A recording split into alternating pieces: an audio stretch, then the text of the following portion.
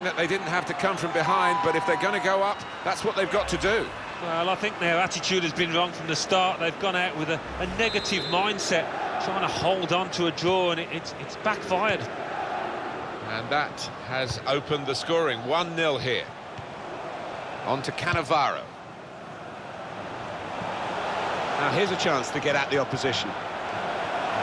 Gets his cross in. They've got him to score here. Well, another twist to this engrossing story here.